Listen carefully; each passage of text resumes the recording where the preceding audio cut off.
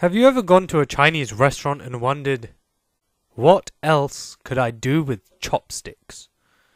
And then the food arrives and you forget about the chopsticks. So I thought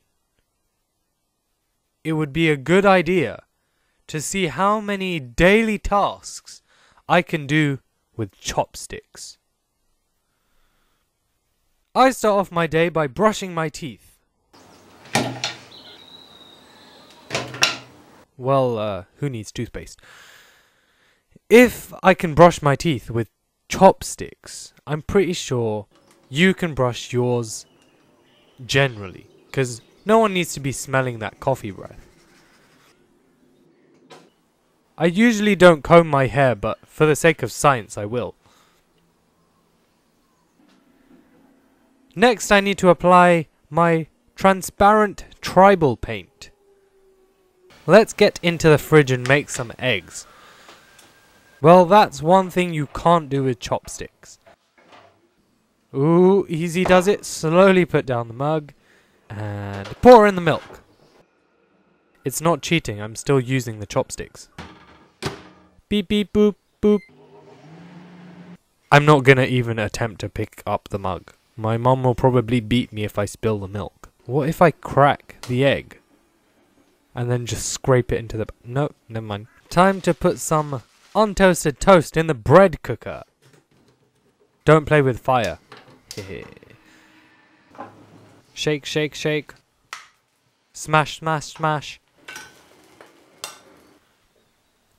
Sometimes it's just easier to eat with a fork.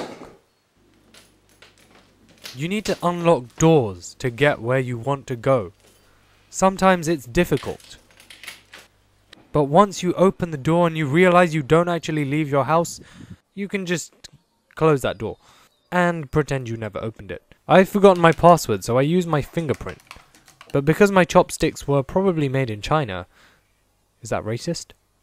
Now that I've realized I don't actually do anything in a day, I thought I'll just do random things with chopsticks. Ah, it's a dragon! Fruit. Ba ba ba ba ba na na. It's not cheating as long as I don't use my hands. I can't even use a zipper on a usual day. You can call the police or an ambulance, depending on how many bodies you have to hide. Hmm, my phone needs charging. Sometimes you feel like listening to music. And when you're done listening to music, is that racist? How about spraying some perfume?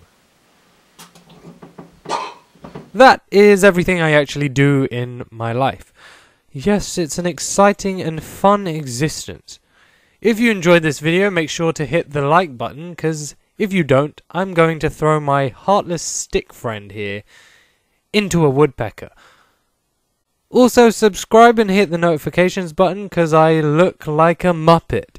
And I will see you next week. But if not, it's fine. I'll just be deeply offended.